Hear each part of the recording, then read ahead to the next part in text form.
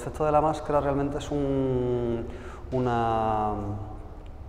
argumento conceptual para justificar eh, el trabajo. Hay rostros que son patéticos, hay otros que sufren, hay otros que ríen, otros que lloran, eh, hay rostros que deliran, eh, entonces pues bueno, es, es una manera de, hablar de, del rostro a través de, del concepto de la máscara. La máscara que somos, porque somos, somos alma, somos, eh, pero somos cuerpo, ¿no? El, cuerpo es, es, nuestra, es nuestra máscara.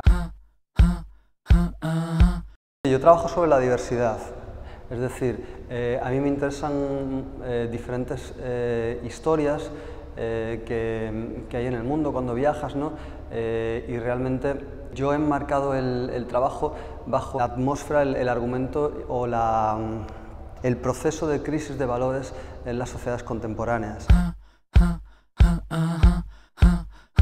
Hay que elegir, puedes trabajar en blanco y negro, puedes trabajar en color. Siempre fue más, eh, más fácil eh, revelar en, en casa cuando trabajamos con carretes eh, revelar blanco y negro que, el color. El color era un poco más complejo. Realmente no, no tengo una respuesta. Empecé en blanco y negro eh, y, siempre ha sido así.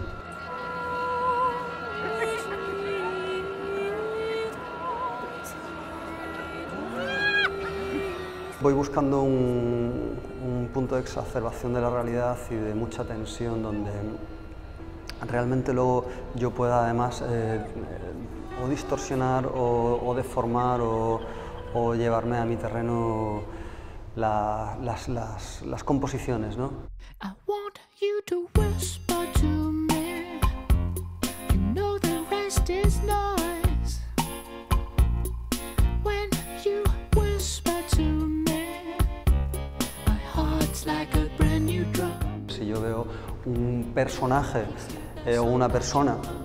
que me interesa y veo que donde está no es, o sea, él es estupendo, pero está mejor a la izquierda que a la derecha, yo lo cambio de sitio sin ningún tipo de problema.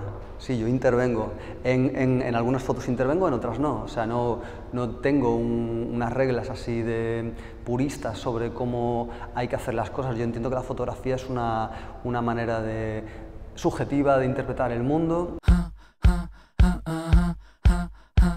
Con respecto a las críticas que hacen los animalistas al, al trabajo eh, sobre las plazas de toros que yo tengo realizado, eh, no tengo nada que decir, quiero decir que cada uno defiende su, su, manera de entender el mundo. Yo evidentemente lo que hago es una crónica, hago una crónica sobre, sobre cosas que suceden.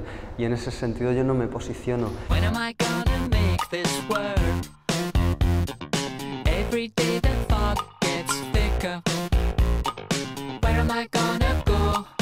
En el caso del, bosque africano, el, trabajo que, hicimos José Bautista, Fabiola de Cot y yo sobre el bosque africano en, una zona que se llama la Reserva del Ya, en Camerún, el, tema eh, es la, pérdida de identidad y la pérdida de tierras de, de las comunidades pigmeas.